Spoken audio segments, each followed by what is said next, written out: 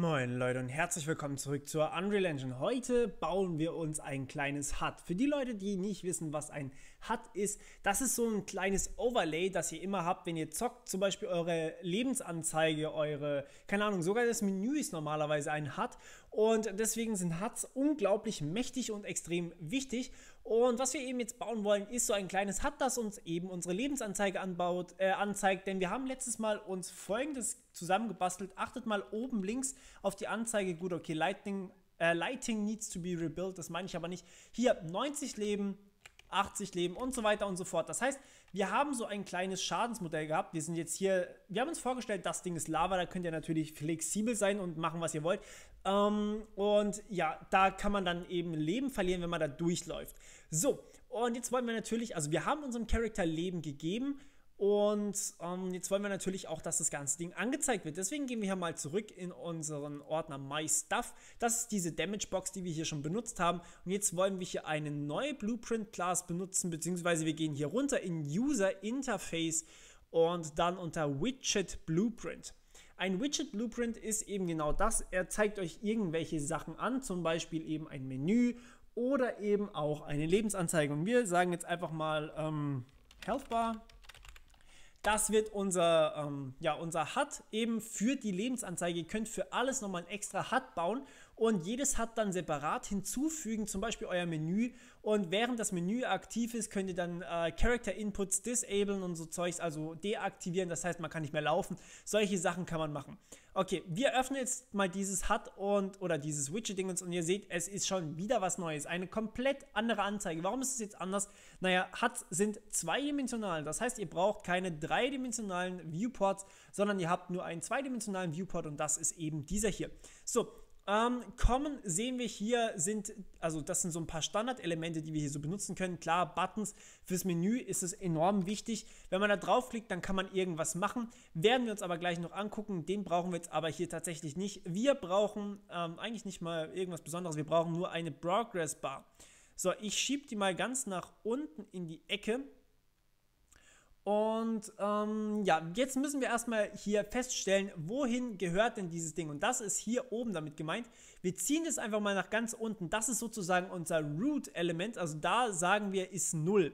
Das heißt, wir fangen von 0 an zu zählen bis hin zu 100 nach oben. Ähm, und da können wir jetzt hier eben sagen, okay, Position X ist bei 0 und Position Y ist auch bei 0. Das heißt, okay, wir sind sogar oben drüber. Das ist natürlich jetzt nicht so sinnvoll. Ups. Ähm, wo ist es denn? Das sollte nicht weg. Na, komm schon, geh nach oben. Ähm, das heißt, ja gut, Size Y ist hier bei 40. Das heißt, wir müssen hier zu 40 gehen. Minus 40, weil wir nach oben zählen. So, ähm, und jetzt haben wir es quasi genau in der Ecke. Okay, ähm, das ist jetzt mein, mein sehr simples HUD. Ich ziehe das mal hier noch ein bisschen in die Länge, damit ich ein bisschen eine längere Lebensanzeige habe und ein bisschen eine höhere Lebensanzeige. So sieht es doch eigentlich schon mal ganz gut aus. Und wir wissen aus jahrelanger Erfahrung, eine Lebensanzeige ist nicht blau, das ist Mana. Wir wollen aber eine Lebensanzeige machen. Deswegen sagen wir hier so ein richtig schön sattes, nein, eigentlich, hm, hm. ja, so.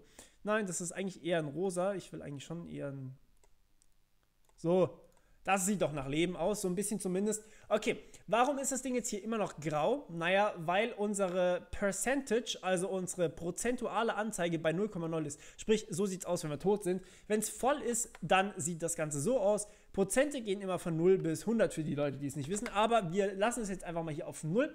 Und jetzt haben wir hier ähm, diesen komischen Button Bind. Und dieser Button ist sozusagen dieses mächtige Etwas, ähm, das irgendwas für euer HUD tut. So funktionieren übrigens auch Buttons. Das heißt, wenn ihr irgendwie einen Button reinzieht und ich kann es euch gerade mal ganz kurz zeigen, der Button hat dann hier eben auch Möglichkeiten, ähm, Sachen zu tun und irgendwelche Funktionen aufzurufen. Gut, okay, der hat hier auch Events, die man benutzen kann, aber die normalen Widget-Elemente, die werdet ihr irgendwie über Binds aktualisieren. Das heißt, ihr werdet nicht sagen, jedes Mal, wenn der Charakter Leben verliert oder jeden Tick sogar noch, hey, wie sieht es denn aus? Wie viel Leben habe ich denn gerade noch? So und so viel Leben habe ich noch. Nein, ähm, ihr lasst dieses Widget hier tatsächlich dieses, über dieses Binding entscheiden. Ich habe jetzt hier so und so viel Leben und dieses Leben wird dann jedes Mal gesetzt. Okay, also get percent, ähm, das wollen wir umbenennen. Äh, ja, das war nicht beabsichtigt. Wir gehen wieder zurück in Designer und machen das Ganze hier nochmal Create Binding. So, habe ich das jetzt richtig gemacht? Ja, okay. Also wir haben Percent gebindet. Ähm, ich wollte natürlich nicht die Funktion löschen, ich wollte sie umbenennen, aber manchmal ist mein Gehirn irgendwie gerade AFK. Gut, um, ähm, wie nennen wir das ganze Ding denn jetzt? Update oder nee, get percent, get percentage health. Okay, so, äh, Achtung, wir brauchen eine prozentuale Lebensanzeige. Das heißt, unsere Werte gehen von 0 bis 100. Auch wenn wir 2000 Leben haben, können wir hier nur Werte, oder um genau zu sein, Float-Werte von 0 bis 1 reinstecken. Auch wenn wir 50.000 Leben haben oder 223. Ähm, das heißt, wir müssen hier ein bisschen rechnen. So, was wir jetzt machen wollen, ist, wir ziehen uns aus unserem Spieler, und jetzt kommt die zweite Variante, wie ihr euren Spieler holen könnt. Get Player ähm, Character oder Get Player Pawn. Beides in etwa dasselbe. Ähm, wir können hier jetzt einfach mal den Get Player Character nehmen und jetzt casten wir den. Cast to. So, und ähm, wir haben jetzt die Möglichkeit, ihn zu jedem Character Blueprint zu casten, also jeder Unterklasse von Player Character. Und unsere ist jetzt Character Blueprint. Wir wissen, dass unser Character ein Character Blueprint ist, aber das ganze Ding kann auch fehlschlagen. Also wenn es kein Character Blueprint Blueprint ist, also Char Blueprint, das, was wir erstellt haben, sondern wenn wir zum Beispiel aus Versehen irgendwas anderes haben, dann feuert diese Cast Failed Node und das hier feuert nicht. Das heißt, wenn es irgendwann mal nicht funktioniert, überlegt, ob ihr hier vielleicht ähm, einen kaputten Cast drin habt und falls ja, dann ähm, versucht das Ganze zu reparieren. So, okay, Player Index ist der nullte, der nullte Spieler, das sind, ist immer der erste, sprich wir haben aktuell nur einen Single Player, also sagen wir hier, okay, ähm, ja, wir wollen das ganze Ding jetzt benutzen. So, jetzt wollen wir natürlich hier den Return Node setzen. Also wie viel prozentual Leben haben wir denn? Also sagen wir hier, ähm, wir brauchen erstmal get health und wir brauchen get max health. So, das sind meine beiden Variablen, die wir hier das letzte Mal schon erstellt haben. Achtung, das ist schon ein bisschen her. Ich minimiere das Ganze mal. Ähm, wir haben auf unserem Character Animation, Character Blueprint, haben wir gesagt, okay, wir haben hier zwei Variablen, einmal Health und einmal Max Health. Und diese beiden Werte setzen wir in der GetDamage-Funktion zum Beispiel. Hier haben wir die Möglichkeit, Schaden zu empfangen. Das ist das, was, die, äh, was diese kleine Box da hinten tut. Und ähm, ja, jetzt haben wir hier das Ganze aber als ganz normale Variablen gesetzt und wir können darauf zugreifen. Das sind eben diese beiden Variablen hier. Variable Name sehen wir hier ist Max Health, aber das schreibt es mir so auseinander, weil es das Ganze so für mich lesbarer macht. So, jetzt haben wir hier aber zwei Integer-Werte, also zwei ganzzahlige Werte, beide aktuell 100, wenn wir das Spiel starten. Der eine geht immer mal wieder runter, aber wie gesagt, das ist völlig irrelevant, wie groß diese beiden Werte sind. Ähm, das können auch 30 und 85.000 sein. Also es geht alles. Und ähm, jetzt sagen wir hier, okay, wir wollen das Ganze als, äh, als Float-Wert haben. Das heißt, wir sagen, wir teilen die Lebensanzeige ähm, geteilt durch, so Vektor, äh, Integer durch Integer. Achtung, das liefert mir auch wieder einen Integer, aber ich kann das Ganze umkonvertieren in einen Float. Ähm, genau, und jetzt packe ich das einfach hier rein. So, fertig. Und eigentlich will ich hier keinen Integer haben, eigentlich will ich direkt einen Float haben, denn ansonsten kann es mal zu Schwierigkeiten kommen. Das heißt, was ich jetzt mache, also sagen wir mal so, wenn ich jetzt, ähm, wenn ich jetzt sagen wir mal 20 Leben habe und mein Max-Leben ist 100, dann teile ich 20 durch 100. Sprich, ich habe 0,2. Was aber intern passiert ist, ich teile 20 durch 100, es ist 0 mit Rest 20. Und wenn ich ähm, dann das Ganze in Float konvertiere, habe ich das Problem, okay, Rest ist einfach abgeschnitten. Das heißt, ich habe hier nur noch eine 0 stehen und dann kommt hier irgendwie immer 0 raus, was ich natürlich nicht möchte. Ich möchte hier tatsächlich einen Float-Wert haben. Deswegen ähm, konvertiere ich das Ganze direkt mal in einen Float-Wert hier. Und das hier konvertiere ich auch in einen Float-Wert, damit ich wirklich mit Gleitkommazahlen rechnen kann, auch wenn das Leben an sich eine ganzzahlige Angelegenheit hier ist. Und jetzt kann ich hier sagen, ich teile das und bekomme auch wirklich ähm, Kommazahlen hier durch. Das heißt, ich habe jetzt hier Health als Gleitkommazahl geteilt durch Health als Gleitkommazahl und bekomme jetzt dann natürlich auch eine Gleitkommazahl bei raus. So, und äh, jetzt habe ich im Prinzip hier schon alles gemacht, was ich brauche. Jetzt muss ich das Ganze nur noch einfügen in meinen Character Blueprint. Achtung, das ist jetzt wieder der Character Blueprint. Wir sehen es hier, das ist der Charakter, der atmet gerade. Ähm, das hier ist die Lebensanzeige, die sehen wir, nein, die sehen wir über den Designer. Also hier, ähm, damit wir nicht durcheinander kommen. Achtung, ich gehe jetzt auf den Character Blueprint wieder und jetzt hier auf den Event Graph. So, und ähm, jetzt brauche ich hier ein neues Event und zwar dieses Event Begin Play. Hier setze ich sozusagen mein HUD. Das heißt, ich sage, das ist mein HUD, das möchte ich jetzt die ganze Zeit benutzen. Und ähm, das kann ich ganz einfach sagen, indem ich hier ähm, hingehe und, ach ja genau, als erstes sagen wir mal, mein Leben ist gleich meinem Max-Leben, also ganz am Anfang, wenn ich spawne. Ähm, das heißt, ich ziehe mir hier erstmal mein Health. Ups, mein Health.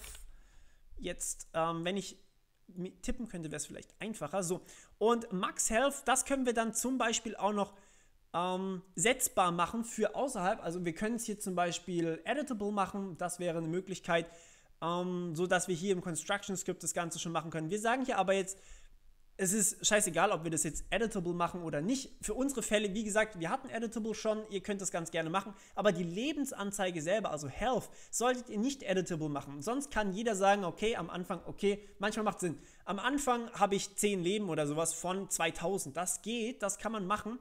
Das passiert dann aber auch, wenn ihr Health editable macht. Deswegen würde ich sagen, ähm, macht Max Health editable und das kann man dann editieren wenn man den Charakter benutzt, aber ja, ich würde auch hier einen Standardwert von irgendwas eben zuweisen. Gut, ähm, ja, wir setzen also erstmal das Leben und jetzt müssen wir das HUD setzen. Das heißt, wir sagen hier in unserem Set, wir wollen ein neues Widget kreieren, also Create Widget, Create Widget. So, User Interface, ihr habt es gerade gesehen, das ist, hat hier oben so ein extra Icon. Okay, und jetzt der Owning Player. Was ist wohl der Owning Player von unserem Widget? Also wer sieht das hat im Endeffekt? Naja, das ist logischerweise der, der gerade diesen Spieler hier kontrolliert. Also sagen wir wieder mal, wir wollen get player controller. Ähm, get player controller. So, das ist der owning player.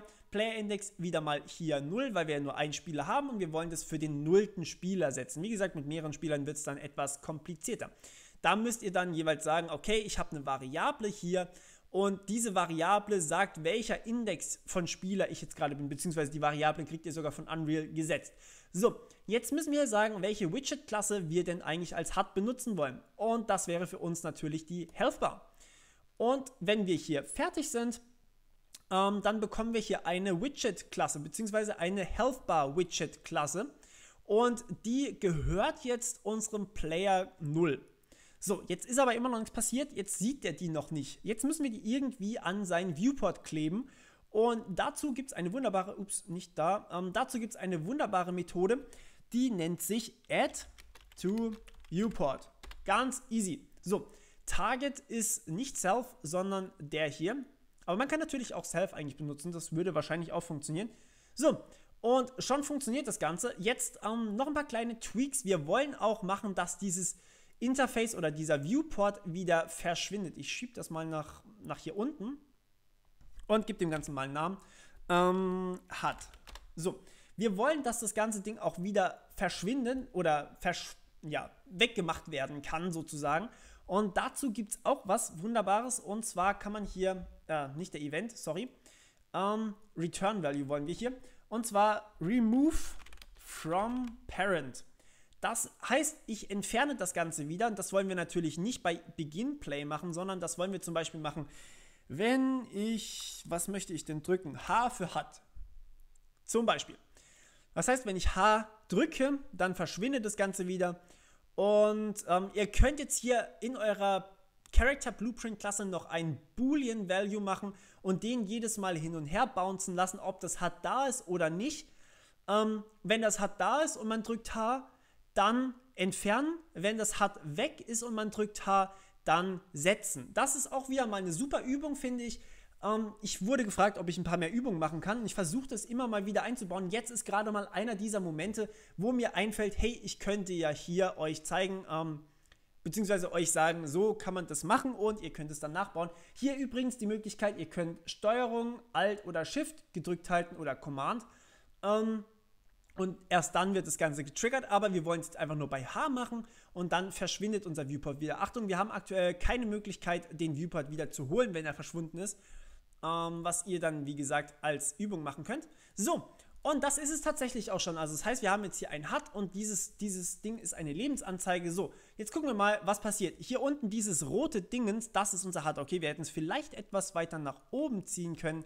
Aber jetzt laufe ich mal durch diese Damage Box. Bam, ihr seht, ich habe 10 Schaden bekommen. 10 Schaden bei 100 Leben ist schon echt einiges, nämlich ein Zehntel. Bam, nochmal 10 Schaden, nochmal 10 Schaden und nochmal 10 Schaden und nochmal 10 Schaden und so weiter und so fort. Und jetzt möchte ich euch mal ganz kurz zeigen, was passiert, wenn wir hier minus 10 Leben haben. Man sieht einfach tatsächlich gar nichts, was eigentlich auch recht cool ist. Also wir sind schon auf 0 Leben, aber es ist einfach nur die Anzeige von eurem Leben. Ähm, ihr könnt die ganz gerne noch ein bisschen aufhübschen. Das war jetzt, wie gesagt, nur der allererste Entwurf. Ich finde sie viel zu dick und sie klebt viel zu sehr unten am Rand. Deswegen ähm, gebt euch da Mühe, macht was Schönes draus und das war's von meiner Seite. Ich hoffe, es hat euch gefallen und wir hören uns beim nächsten Mal. Bis dann, ciao!